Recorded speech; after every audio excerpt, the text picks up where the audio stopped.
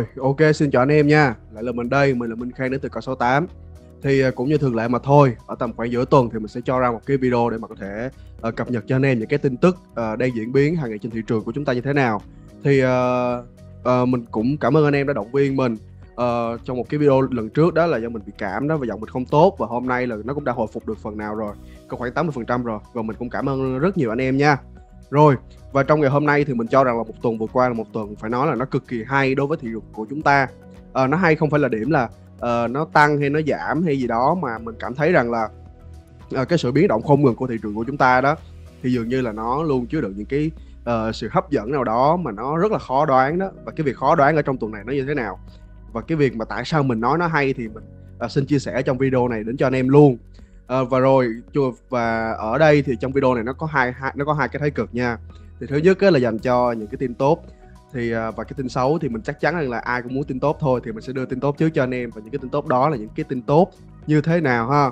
Thì anh em ờ, cũng đã cảm thấy rằng là uh, đây thì uh, vào trong ngày hôm qua đó thì khi mà bitcoin của chúng ta nó tăng trưởng một cái cách mình nói là một cái cách rất là bất ngờ và rất là đột phá đó anh em thì vào tầm à, thì nó là từ khoảng là 39.000 đô đúng không? Và ngày hôm qua nó đạt đến một cái đỉnh dường như là nó tăng tới khoảng là mình nhớ không nhầm là gần 10% lận. Nó tăng lên tới khoảng là 42.500 đô nè. Và cái thông tin tăng của nó là tại sao? Là tại vì ngày hôm qua chúng ta đã có một cái sự kiện rất, rất là bất ngờ. Khi mà cái à, mệnh lệnh hành pháp của tổng thống Joe Biden đó thì à, ông đã công bố cái mệnh lệnh đó ra rồi. Và bất ngờ hơn tức là Mỹ đó anh em thì trước đây chúng ta luôn quan ngại về những cái lo lắng rằng là ờ Mỹ có ủng hộ crypto hay không?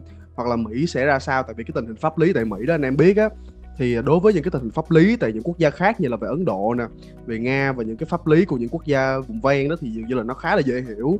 Nhưng mà đối với cái bức tranh toàn cảnh pháp lý ở Mỹ á, thì dường như là mình phải cho rằng là nó cực kỳ phức tạp anh em, tại vì nó tùm lum tùm la hết. Đó, nhưng mà vào cái mệnh lệnh hành pháp của tổng thống Joe Biden được đưa ra ngày hôm qua đó thì dường như là uh, thiên về cái khả năng là ủng hộ về tiền mã hóa hơn và nó ủng hộ như thế nào thì ở đây mình cũng xin chia sẻ rằng là uh, ở đây bên mình cũng đã có đưa những cái cụ thể đó cho anh em rồi đó chính là uh, bao gồm những cái khía cạnh như sau. Thứ nhất là bảo vệ người tiêu dùng bảo, bảo vệ nhà đầu tư cái này là mình không cần phải nói tới rồi nó quá là rõ ràng rồi. Thứ hai là nó dùng để củng cố ngành tài chính của mỹ và thế giới cũng như là giảm thiểu rủi ro đó. Giảm thiểu rủi ro mà uh, cái tài sản mã hóa có thể gây ra đối với cái hệ thống tài chính của mỹ và toàn cầu nói nói chung đó ha. Và nhiều cái tiêu chuẩn khác được ông Joe Biden đưa vào cái mệnh hành pháp này. Thì nhìn chung đó thì nó cũng thiên về hướng là ủng hộ tiền mã hóa hơn và đó là cái lý do chính để mà có thể có thể khiến được uh, Bitcoin thực hiện một cái cú pump ngày hôm qua nó cực kỳ mạnh như thế này đó. Và một cái tin tức pháp lý khác mà mình cho rằng là có thể gọi đây là một đây là một cái tuần mà pháp lý đã cứu thị trường của chúng ta. Ha thì uh, tin tức khác đó chính là sao? Đó chính là về cái uh, các tiểu vương quốc Ả Rập thống nhất UAE đó anh em thì cũng trong ngày cái mệnh lệnh cái mệnh lệnh hành pháp mình mới vừa đưa hồi nãy đó được tuyên bố được công bố ra đó thì UAE đó đó chính là phó cái tên này nó nó là cái tên mà mình uh, nó nó nó là cái Ả Rập thì mình cũng không có biết đọc rõ cái tên này. Sheikh Al Maktoum. Đó nên mình tạm gọi là đây là cái ông đi ha. À, đó đây là cái ông mà tổng thống và kim thủ tướng đó anh em. Đó thì ông cũng đã đưa ra một cái uh, lệnh uh, điều chỉnh và quản lý tiền mã hóa cũng giống như là ờ, thành lập những cái cơ quan quản lý tiền mã hóa ở UAE thì uh, đây cũng là một một cái điều dễ hiểu thôi vì anh em thấy rằng là UAE thì trước đây họ cũng đã dọn một dọn đường pháp lý để dọn đường cho những cái công ty crypto có thể kinh doanh tại quốc gia này rồi và họ cũng đã rất cởi mở cho crypto rồi. Nhưng mà ở trong cái giai đoạn đó đó tầm khoảng từ 1 đến 2 tháng trước đó thì họ chỉ đang trong một cái giai đoạn để mà họ chuẩn bị họ đưa ra luật thôi. Nhưng mà cho đến ngày hôm nay thì luật cũng đã được công bố rồi đó và hoàn toàn à, có cởi mở với crypto một cách hoàn toàn luôn dựa theo luật được ban hành ra luôn chứ không phải là những cái lời nói mồm nữa. Thì anh em thấy là cái bức tranh pháp lý của chúng ta trong tuần này thì nó dường như là nó đang ủng hộ tiền mã hóa rất là nhiều. Tiếp đến thì ở xứ sở kim chi tại hàn quốc thì chúng ta có ai? Chúng ta cũng có một tân tổng thống mới thì ông này đó thì ông cũng là một cái người mà cực kỳ có một cái thái độ không phải là một thái độ trung lập hay một cái thái độ mà tiêu cực về tiền mã hóa nữa mà ông cực kỳ ủng hộ tiền mã hóa luôn và sau khi mà ông đắc cử tổng thống rồi đó thì ông cũng hứa rằng là ông sẽ bãi bỏ những cái gì mà nó còn uh, nó còn thiếu những cái quyền chặt chẽ những cái gì mà nó còn uh, thô sơ những cái gì mà nó còn về mang mang về cái mặt mà uh, xấu trong những cái quy định mà trước đây á, đã được cựu tổng thống Hàn Quốc trước đây ông đưa ra về, về về cái thị trường này. Thì đến khi mà cái ông này đó ông đắc cử tổng thống mới rồi thì ông sẽ bãi bỏ hết những cái đó ông sửa đổi cái mới để mà có thể cải thiện cái tình hình crypto tại Hàn Quốc hơn. Đó và đồng thời trong tuần trong tuần qua chúng ta cũng đã có một cái uh, cái tin tức khác về cái khối EU tức là khối liên minh châu Âu đó anh em. Thì bên phía liên, liên minh châu Âu là họ thì trước đây á ừ, mình nhớ không nhầm là trong một cái video mình có uh, đưa đưa ra cho cho một cái anh em một cái uh, dự đoán. Đúng không? Một cái dự đoán của riêng cá nhân mình là liệu châu Âu có uh, thực hiện cái việc mà cấm crypto toàn diện như là Trung Quốc như là những cái quốc gia khác hay không? Như theo cái theo cái mô tiếp chung của Trung Quốc đó. Thì uh, trong cuối video đó nếu mà anh em nào để ý kỹ á, thì mình cũng đã nói rằng là mình hy vọng rằng là cái dự đoán đó của mình sai. Tại vì đó tại vì mình chỉ mình chỉ đưa ra một cái dự đoán về cái phía nhìn đối lập mà thôi và mình hy vọng rằng đó là sai. Thì đến ngày hôm nay thì nó đã sai rồi và mình rất mừng về cái về về cái việc đó. Mặc dù mình mình, là người đưa ra cái lập luận đó đúng không? Tại vì là đâu phải ai cũng đưa ra một một cái lập luận mong muốn mình sai đâu. Nhưng mình cũng đã khẳng định trong vi, trong cái video trước đó rồi là mình mong muốn cái này là nó sẽ nó nó sẽ là sai. Và đến bây giờ nó sai rồi. Ha và nó sai cụ thể như thế nào thì anh em biết rằng là uh, liên minh châu EU đó thì họ đã lược bỏ những cái lệnh cấm Bitcoin khỏi những cái dự thảo khỏi những cái dự luật về quy định tiền mã hóa của họ rồi. Đó tức là trong cái dự trong cái dự thảo dự luật các ông ngồi chung với nhau các nhà lập pháp ngồi chung với nhau thì họ đã bãi bỏ cái lệnh đó rồi trước khi mà họ thông qua ở cái bước cuối cùng để mà ban hành thành cái luật chính thức đó thì họ đã bãi bỏ rồi. Đó thì đây hoàn toàn là, là một tuần mà mình ghi nhận những thông tin pháp lý tốt. Và đến, tính đến thời điểm hiện tại đó, sau cái cú bơm như vậy và cái thời điểm mình thực hiện cái video này á, thì nó lại thực hiện, nó lại cho một, nó nó lại cho anh em chúng ta một cái cú quay xe cực kỳ bất ngờ như vậy, như chưa từng có cuộc chia ly luôn. Đó, về mức ban đầu là tầm khoảng 39.000 USD thì anh em biết thì tại sao thì đến bây giờ thì hiện tại là vẫn chưa có nhiều cái nguyên nhân để mà có thể lý giải cho cái cú đâm này. Đó và theo mình, cái này là theo mình, tại thời điểm mình thực hiện video thì nó thì nó đã đâm rồi. Và cái này là không phải tâm linh nha, tại vì anh em thường hay nói rằng là mỗi lần mà mình làm video lên thì chắc chắn thì trường sẽ đâm và anh em sẽ lao vào short ngay. Nhưng mà anh em, nhưng mà nhưng mà đó chỉ là một cái sự trùng hợp thôi anh em. Nhưng mà có lẽ là mình đã ra hình như là hàng chục video rồi thì nó nó, cái xác suất mà nó đâm thì như tới khoảng là tám tám mươi tới chín tới chín mươi phần trăm lận nên nên anh em có thể gọi là tâm linh cũng được. Đó và mình cũng không buồn vì điều đó đâu. Ha rồi chúng ta hãy quay trở lại cái câu cái câu chuyện đi. Là tại sao là tại tại tại sao mà khi những cái thông tin pháp lý tốt như vậy mà đến hôm nay bitcoin nó lại quay xe một cái cách bất ngờ nó đâm xuống ngay từ cái mức mà nó pump lên ngày hôm qua như vậy? Thì uh, ở đây thì nó lại quay sang một cái bức tranh tiêu cực mà mình muốn uh, diễn giải cho anh em như mình đã nói ngay từ đầu video đó. Thì cái bức tranh tiêu cực là gì? Đó chính là anh em biết là cái lệnh hành pháp này nè cái là cái mệnh lệnh hành pháp của tổng thống Joe Biden thì dường như khi mà chúng ta đọc về tất cả những cái tiêu chuẩn mà ông đưa ra trong cái mệnh lệnh này đó nè một hai ba bốn năm sáu bảy là dường như là phần lớn nó chiếm hết 60% là nhắm về cái việc mà bảo vệ nhà đầu tư rồi đúng không? Rồi, chúng ta hãy ghi nhớ nha, chúng ta hãy ghi nhớ cái cụm từ khóa bảo vệ nhà đầu tư nha. Rồi, và trong sáng ngày hôm nay đó thì anh em biết đây vẫn chính là nhân vật cũ mà thôi đó chính là chủ tịch xác Gary Gensler thì ông là chủ tịch của của ủy ban giao dịch và chứng khoán Hoa Kỳ đó anh em. Một người từng được biết đến là mình nếu mình nói không ngoa đó thì ông chính là một người quyền lực nhất đối với chúng ta trong cái thị trường này. Quyền lực ở đây không phải là uh, ông có quyền lực như là tổng thống Joe Biden hay có quyền lực như những cái uh, vị lãnh đạo cao cấp ở trong nội bộ chính, chính phủ Hoa Kỳ nha. Mà cái quyền lực ở đây mình để trong ngoặc kép nha anh em. Rồi và mình sẽ mô tả cái câu chuyện là quyền tại tại sao mình lại nói quyền lực thì chúng ta hãy nhìn đây. Thứ nhất đó anh em biết trong năm 2021 ngay khi mà được uh, tổng thống Joe Biden uh, tín nhiệm lên là chủ tịch Fed, tân chủ tịch Fed mới để thay thế người cũ đó thì anh em biết rằng là Gary Gensler đã có những cái tác động rất là tích rất là uh, mang cái tầm ảnh hưởng nó lớn đến cái thị trường của chúng ta. Và đầu tiên mình có một cái dự chứng đầu tiên thì anh em biết cái sàn Uniswap đúng không? Anh em chắc chắn là phải biết Uniswap rồi. Đó chính là cái sàn DEX mà lớn nhất trên Ethereum cũng như trên thị trường của chúng ta hiện nay luôn thì tại vì đó tại tại vì cái tại vì Uniswap thì dường như là là tiên phong mà. Thì anh em biết á, thì vào tầm khoảng tháng ờ, 7 tháng 8 thì SEC đã mở một một cái cuộc điều tra đến Uniswap thì để cho mình xem để cho mình cho anh em xem là Uniswap kể từ đó nó đã như thế nào nha. À, ờ, đây không phải là tâm linh nha anh em mà mình cảm thấy đây là một cái sự trùng hợp thôi chứ không chứ không phải là tâm linh nên anh em đừng có nghĩ là tâm linh. Đó rồi quyền lực nó nằm ở đây nè anh em. Đó chính là đây như mình đã nói vào tầm khoảng tháng 7 tháng 8 đây ngay khi mà Uniswap vừa phục vừa phục hồi lên tầm khoảng là ở trên 20 đô 30 đô một tí đúng không? Thì đây là cái thời điểm mà SEC đó mà ở đây đó được lãnh đạo bởi chủ tịch Gary Gensler đó thì ông đã tiến hành điều tra vào vào Uniswap thì anh em biết kể từ đó Uniswap nó cứ như vậy thôi. Và đến bây giờ đây anh em thấy nó đâm tới còn khoảng dưới 10 đô và giá hiện tại là 8,63 đô. Đây là một cái giá mà mình nghĩ rằng là mình không thể tưởng tượng nổi với với một cái giao thức một cái nền tảng DeFi một cái sàn DEX mà lớn nhất trên Ethereum. Và lớn và và nếu nhìn tổng quan hơn là lớn nhất trên thế giới luôn. Đó đây chính là một cái sự chạm tay của SEC khi mà tiến hành điều tra về Uniswap đó anh em. Anh em thấy nó ghê gớm không? Và cái thứ hai đó chính là gì? Rồi một cái đại diện thứ hai đó chính là Coinbase. Thì anh em biết là Coinbase á, thì cùng cái thời gian mà điều tra Uniswap đó thì sàn Coinbase á, cũng bị dính líu vào SEC và đây là nổ ra một cái cuộc mâu thuẫn mà mình cho rằng nó cũng khá là lớn. Tức là sao? Tức là sàn Coinbase đó sẽ uh, nói với SEC rằng là uh, chúng tôi sẽ triển khai một cái sản phẩm cho vay tiền mã hóa mới đúng không? Nhưng mà sau đó đó anh em thì SEC lại nói là chúng tôi không còn quan tâm anh triển khai cái gì ở trong đây nhưng mà chúng tôi cho rằng đó là vi phạm đạo luật chứng khoán của Hoa Kỳ năm 1940 vì thế nên là SEC đó đã nói với Coinbase rằng là bây giờ một là bỏ còn hai á nếu mà cứ tiếp tục triển khai là có chuyện ngay. Rồi thế là CEO của Coinbase á, mới lên Twitter đó anh em.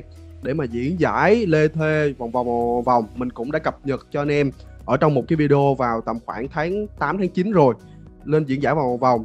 Đó rồi cuối cùng chủ tịch Gary Gensler trực tiếp lên tiếng luôn. Ông chốt hạ một câu rằng là bây giờ nói có nghe không? Đó không cái này là mình nói vui thôi nha mình nói để cho anh em nôm na dễ hiểu thôi chứ mình không không không có phải là nói một cách quá là nặng nề. Tại vì tại vì sao? Tại vì anh em ờ, thường hay nói là mình mình hay cập nhật một cách quá là nặng nề. Mỗi lần nghe mình nói là dường như cảm thấy thị, cảm thấy thị trường muốn muốn muốn sụp tới nơi rồi đó. Nên hôm nay mình sẽ mang một cái màu nó tươi vui hơn đến cho anh em. Đó quay trở lại câu chuyện đi. Tức là vào thời điểm đó đó thì ông Gary Gensler đó ông có lên ông có lên ông nói thẳng với ông Coinbase luôn là bây giờ tôi không có nói nhiều nữa quan điểm của tôi là như vậy. Nếu mà anh cứ tiếp tục triển khai thì cứ làm đi ai cấm đâu nhưng mà làm rồi sẽ có chuyện. Rồi thế là Coinbase cuối cùng cũng tan vỡ cái giấc mộng mà triển khai cái sản phẩm cho vay tiền mã hóa đó. Thì anh em biết ngay ngay sau khi mà va chạm với SEC mà nổ ra cái mâu thuẫn như vậy đó, thì ngay trong quý 3 luôn anh em, lợi nhuận của Coinbase giảm đến 75% trong quý 3 và cái cổ phiếu coin á, được list trên những cái sàn chứng khoán của Hoa Kỳ đó, dường như là nó bị ảnh hưởng cực kỳ nặng nề luôn anh em. Đó là cái minh chứng thứ hai mà mình muốn đưa đưa đến cho anh em. Bởi cái quyền lực của sách khi mà đã chạm tay đến đâu là có ảnh hưởng tới đó liền. Rồi tiếp theo là một cái sự kiện mà nó đã dẫn đến trong tuần này. Và mình cho rằng đó đây, đây, đây là một cái cột mốc mà chắc chắn rằng là hai ba năm sau những anh em nào mà chơi riêng về mảng DeFi những anh em nào đã là đi trần trong mảng DeFi đã là alpha gì đó rất là chuyên nghiệp trong mảng DeFi sẽ nhớ cái sự kiện này đó chính là Andre Frontier thì anh em biết đó Andre Frontier đã tuyên bố là rời ngành DeFi luôn rồi. Và những cái thành tựu mà ông để lại đó thì dường như là nó cũng sẽ bị ngừng hoạt động trong thời gian sắp tới và những cái dự án mà ông để lại là em biết đó là những cái dự án mà đã gây một cái tính hype, một cái tính, phải nói là cực kỳ hấp dẫn những anh em nào về chơi DeFi. Như ở đây mình có thể nói đến những dự án như là về Yearn nè, về Keep nè, về multi chain chain list đó. Đó đó là những cái dự án mà Andrew Cruncher đã để lại cho thị trường DeFi của chúng ta. Và tại sao cái sự kiện này là mình lại liên lại với cái sự kiện của SAC ta? Thì ở đây anh em biết rằng là cũng trong cái cùng, trong cùng cái khung thời gian á mà sẽ tiến hành điều tra Uniswap đó, thì Uniswap cũng nằm trong DeFi mà. Và tiến hành điều tra, và tiến hành những cái mâu thuẫn và điều tra về Coinbase về cái sản phẩm đầu tư, cái sản phẩm cho vay đó anh em. Thì chính Gary Gensler, ông cũng đã nói rằng là ông sẽ sờ gáy về về cái mảng DeFi này. Tại vì ông cho rằng cái mảng DeFi này nó quá là phức tạp và nó dường như là nó đang có nhiều cái mảng mờ tối trong đây. Đó, thì ngay tại thời điểm đó đó là SEC đã tấn công vào DeFi rồi và, và đến bây giờ thì anh em thấy cái cái lĩnh vực DeFi dường như là nó tan nát luôn nó không còn cái gì hết á. Và đỉnh điểm thì là Andre Ronche.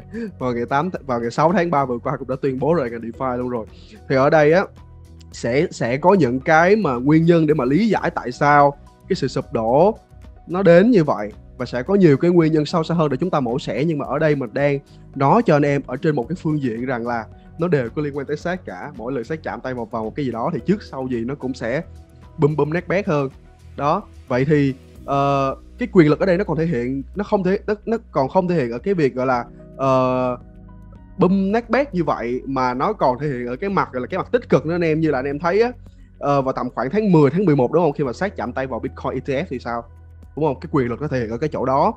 Khi ngay khi mà chủ tịch Gary Gensler đó ông phê duyệt ba cái quỹ Bitcoin ETF á, thì anh em thấy á, đó là một cái động lực cực kỳ lớn để ảnh hưởng đến thị trường. Và lúc đó giá Bitcoin anh em thấy nó bay không? Nó bay rất là kinh khủng và nó bay và nó chạm đỉnh tầm khoảng là 69.000 đô.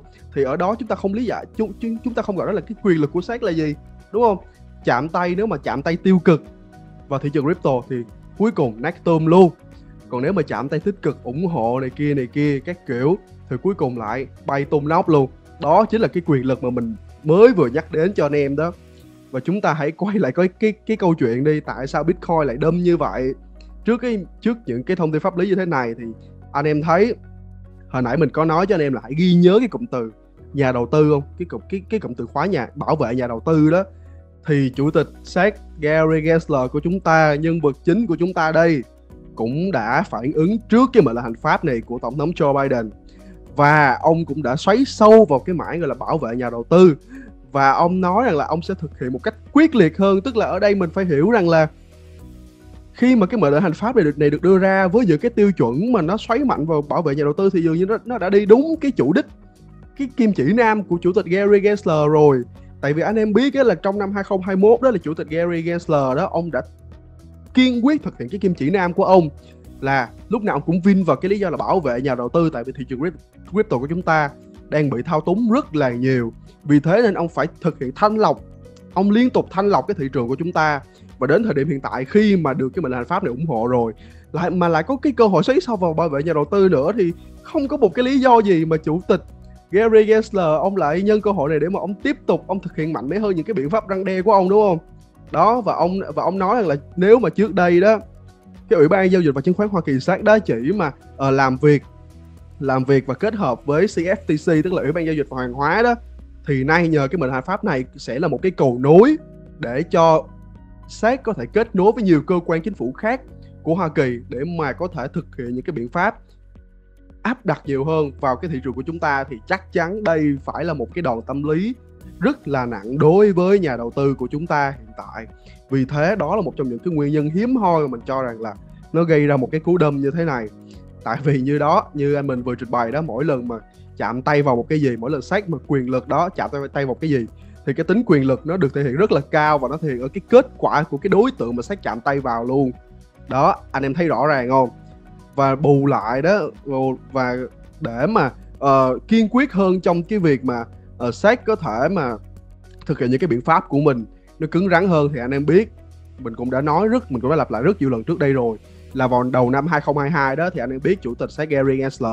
Ông có nói là trong năm 2022 đó sẽ không như hai, năm 2021 đâu. Tôi sẽ không để các ông dễ thở như vậy đâu. Tất cả các sàn giao dịch đều phải chịu sự quản lý của sát cả. Và mấy ông hãy hãy coi chừng về cái vấn đề này. Thì anh em biết Gary Gensler không phải là một người nói mồm không anh em? Ông nói là ông làm.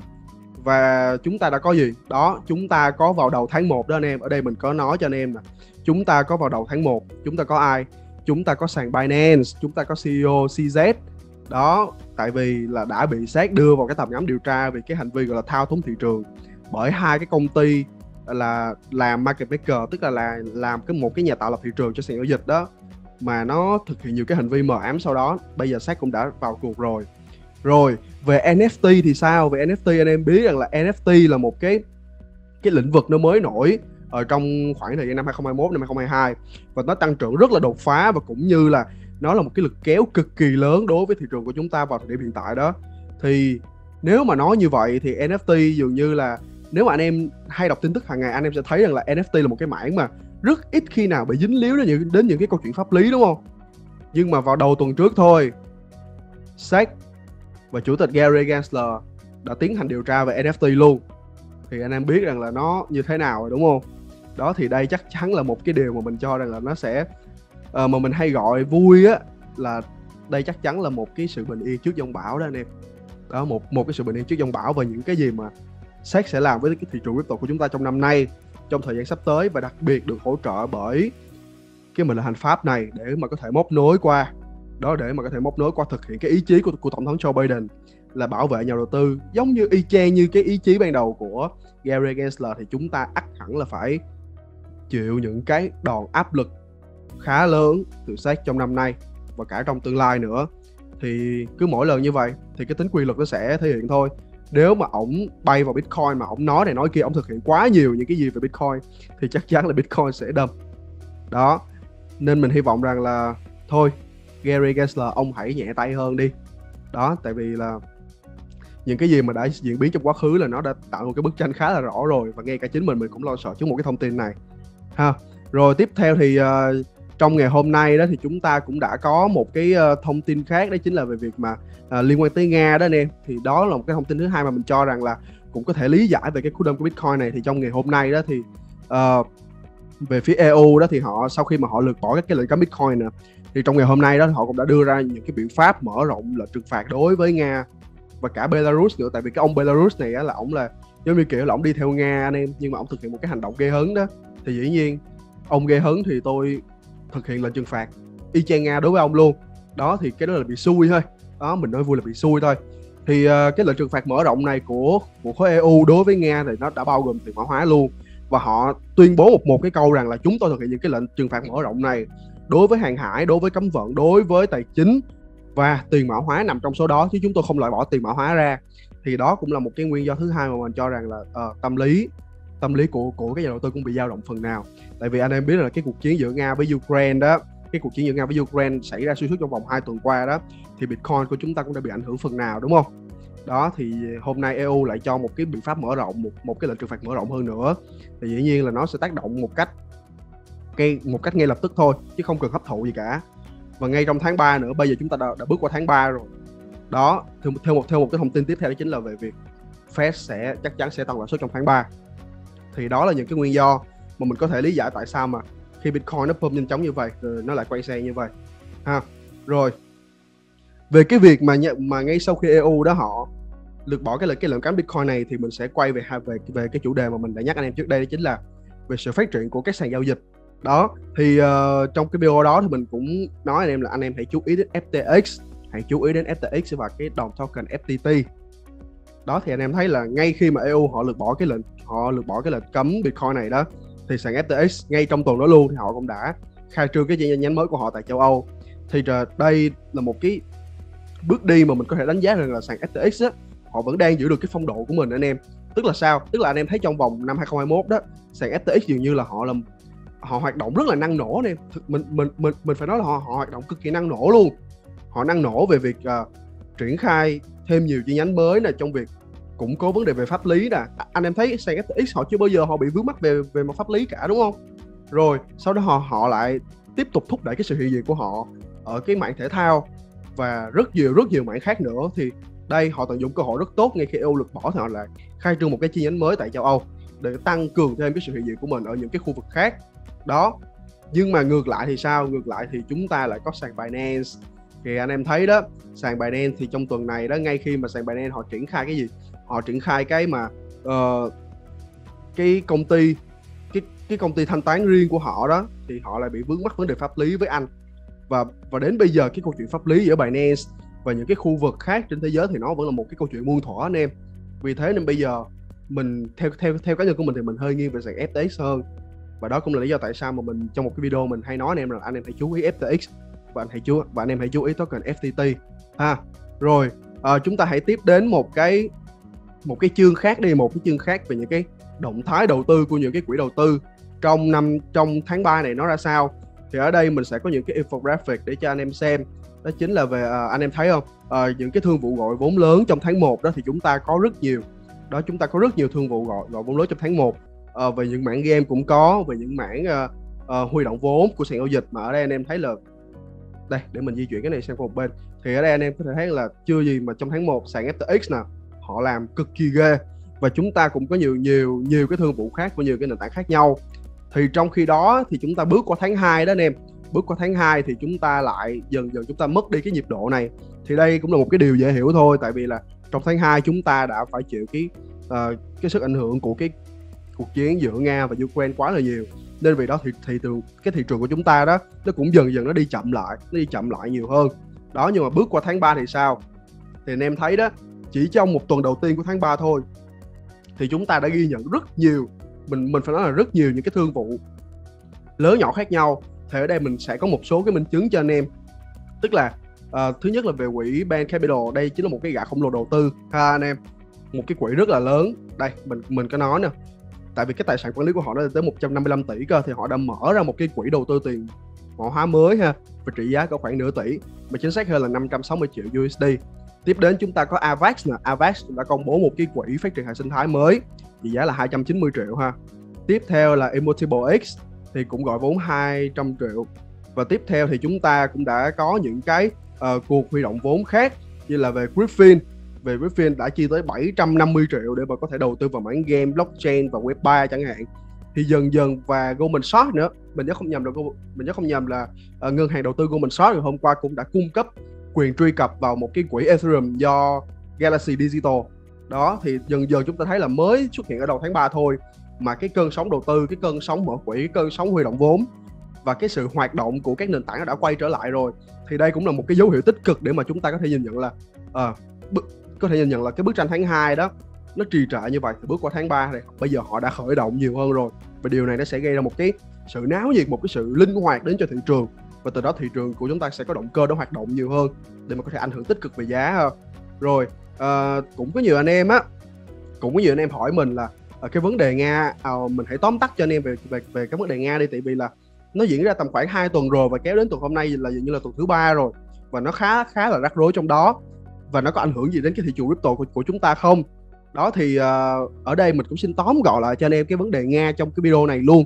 Tóm gọn một cách nó dễ hiểu nhất có thể để cho anh em thì đầu tiên đó là nga ông đánh ukraine đúng không? Nga ông đánh ukraine thì những cái quốc gia trong khối nato như là về mỹ và eu đó và mỹ và liên minh châu âu eu họ không có nói rằng là họ sẽ gửi quân đến ukraine để mà họ có thể gây ra một cái xung đột quân sự đối với nga nữa.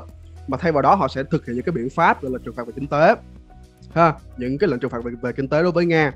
Và nổi bật nhất chính là loại nga khỏi cái hệ thống thanh toán swift ha? Một cái hệ thống một cái hệ thống thanh toán toàn cầu. Và nga đó sau khi mà bị áp đặt những những cái lệnh trừng phạt như vậy thì nga phải làm cách nào thì nga đó thì anh em biết cái nguồn dự trữ của nga là vàng nè. Đó là là vàng đúng không? Là đô la là euro. Thì bây giờ đô la với euro bị trừng phạt rồi. Thì bây giờ nga phải tìm một một một cái hướng khác thì những thì mỹ và bên phía khối eu đó họ mới cho rằng là nga sẽ tìm tới crypto. Đó ha nga sẽ tìm, nga sẽ tìm tới crypto. Và họ yêu cầu những cái sàn giao dịch cũng như là thực hiện những cái biện pháp khác nhau để mà có thể chặn cái con đường đó. Thì anh em phải hiểu rằng là không phải là cái vấn đề nga với ukraine nó sẽ ảnh hưởng tới crypto và và những cái quốc gia như là mỹ eu họ sẽ cấm crypto không phải tức là mình phải phân biệt rõ rằng là hai vấn đề là mỹ và EU họ chặn cái đường crypto đó của Nga chứ không phải là họ cấm crypto đúng không? Tại vì nếu nếu nếu mà họ cấm crypto thì làm sao họ lại đưa ra làm sao tổng thống Joe Biden họ lại đưa ông ông lại đưa ra cái mệnh lệnh hợp pháp như thế này và làm sao EU họ lại lược bỏ cái cái lệnh cấm Bitcoin của họ trong cái dự thảo của họ được đúng không? Vấn đề ở đây á, là nó chỉ xoay quanh vấn đề là họ chặn cái crypto cái đường crypto của Nga mà thôi đó nhưng mà đó là phía phần lớn Mỹ và EU họ nghĩ như vậy nhưng mà một số còn lại thì họ nghĩ là Nga Nga sẽ không có dùng crypto để mà có thể uh, trốn tránh cái nỗi đau kinh tế này đâu. Rồi vì thế những cái cuộc thảo luận đó nó cứ tranh cãi nó nổ ra. Và trong cái diễn biến đó đó thì uh, Ukraine thì Ukraine dĩ nhiên là sẽ yếu hơn Nga rồi. Thì uh, Ukraine vẫn đang nhận được cái sự ủng hộ của, của đông đảo phần lớn cộng đồng trên thế giới. Và nhất là về phía cộng đồng crypto nữa thì họ sẽ gửi crypto đến cho, cho Ukraine để viện trợ về mặt quân sự cũng giống như là vì đến cho nhân dân của Ukraine thì đến bây giờ đó ngay tại thời điểm mình thực hiện cái video này đó thì cái nguồn quyên góp đến được cho Ukraine nó đã hơn gần nó đã hơn một 100 triệu USD rồi. Một cái con số rất là lớn hả anh em? Rồi và sau đó đó uh, ngay khi mà uh, phải chịu được cái những cái lệnh trừng phạt như vậy như là về vàng nè anh em thì ngày hôm qua là các nhà lập pháp Hoa Kỳ họ đã đưa, đưa ra những cái dự luật dự, dự luật mới để đánh thẳng về cái nguồn vàng rồi. Vàng đô la và euro thì dĩ nhiên bây giờ chặn hết ba nguồn này thì còn ai nữa còn chỉ chỉ còn một cái được crypto thôi. Nhưng mà nga đó về phía nga thì nga vẫn chưa có bất kỳ cái động thái nào về uh, về cái việc mà chính thức uh, cho thế giới biết là, là chúng tôi sẽ thông thông qua cái thông qua cái đường crypto cả. Mà đó chỉ xuất hiện bằng những cái dẫn chứng thôi anh em. Những cái bằng chứng thôi những cái bằng chứng như là như là mình đưa ở đây như cho như cho anh em thấy nè những cái bằng chứng như là đồng rút ở mức giá nghiêm trọng. Uh, giá BTC lập ATH mới ở Nga đó tại vì đồng group họ cũng bị sụp mà nên là bây giờ họ dần chuyển sang crypto. Đó chỉ là những cái bằng chứng thôi chứ đó không phải là những cái uh, những cái thông tin mà nó xác thực nó đưa ra cụ thể đến cho chúng ta xem ha. Đây chỉ là những cái bằng chứng thôi. Đó. Thì và những cái bằng chứng tiếp theo như là về nga là về cái khối lượng giao dịch của bitcoin mà những cái đại gia bitcoin những cái cá mà bitcoin nó đột nhiên nó dựng một cột lên. Thì người ta lại nghi ngờ đó là những cái nhà cái nhà tài phiệt của nga hay là uh, cái khối lượng giao dịch bitcoin nga nó lại lớn như vậy. Đó thì đó chỉ là đó chỉ là những cái bằng chứng thôi rồi còn đây mới là cái thông tin xác thực nè. Tức là sau khi mà phải chịu những cái đòn kinh tế trừng phạt đó đó thì nga đã chọn cái hướng đi nào? Nga đã chuyển sang một cái hệ thống thanh toán của Trung Quốc tức là chuyển sang chơi với Trung Quốc đó. Và cái hệ thống thanh toán này tên là Union Pay. Đó thì anh em biết rằng là trong cái cuộc bỏ phiếu mà diễn ra gần đây đó thì chỉ có uh, Trung Quốc nè uh, nước Việt Nam chúng ta và ba quốc gia còn lại hình như là năm lá phiếu trắng để mà có thể uh, bỏ phiếu cho cái việc gọi là uh, tán thành ý kiến Nga có đánh Ukraine hay không đó. Thì uh, Trung Quốc là nằm trong số những cái quốc gia trung lập đó ha bỏ phiếu trắng luôn và cùng với nước Việt Nam chúng ta. Thì uh, bây giờ đứng trước cái những cái đợt trừng phạt kinh tế như vậy từ phương Tây thì Nga sẽ làm sao? Nga đã chuyển qua hệ thống thanh toán của Trung Quốc để mà tìm một cái cơ hội khác một cái cơ hội hiếm hoi khác để mà có thể tiếp cận với cái hệ thống thanh toán tài chính của toàn cầu.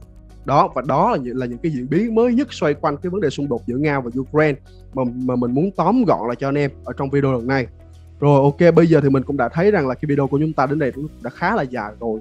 Và lượng thông tin mình đưa trong tuần này cũng khá là khá là đầy đủ cho anh em rồi. À, một lần nữa mình cũng xin cảm ơn anh em đã đồng hành cùng mình trong suốt khoảng thời gian vừa qua. Và chúc anh em sẽ tìm được những cái kiến thức bổ ích trong cái video lần này nha. Rồi hẹn gặp anh em vào video tuần sau nha. Bye bye.